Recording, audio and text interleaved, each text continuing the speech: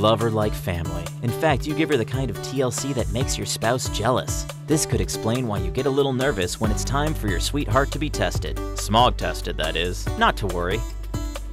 Our technicians will have your automobile, truck, or motorcycle through the testing process in a matter of minutes. No appointment is necessary, and we make the experience as pleasurable as possible.